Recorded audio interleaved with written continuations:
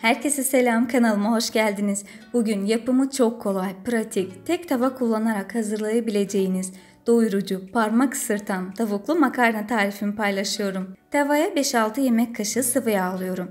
Yağ iyice ısınınca doğradığım 300 gram tavuk göğsünü ilave edip yüksek ateşte kızartıyorum.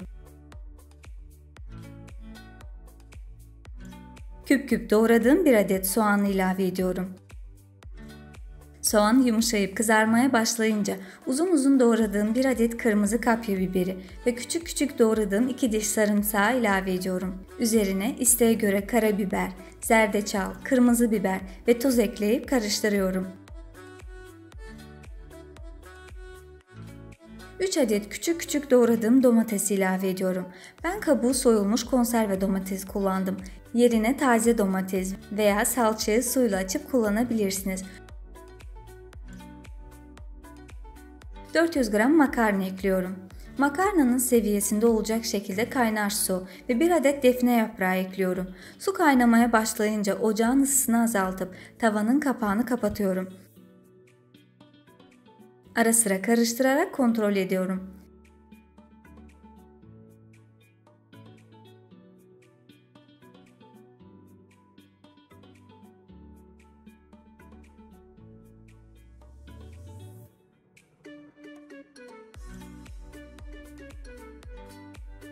Suyu çekilene yakın reyhan kurusu ekliyorum.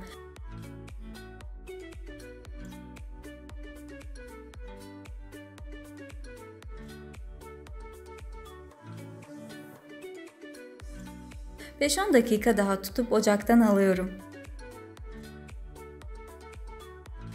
Yemek hazır. 10 numara 5 yıldız damağınızda eriyecek nefis bir yemek oldu. Mutlaka deneyin. Videoyu beğenip yeni tariflerden haberdar olmak için kanala abone olmayı unutmayın.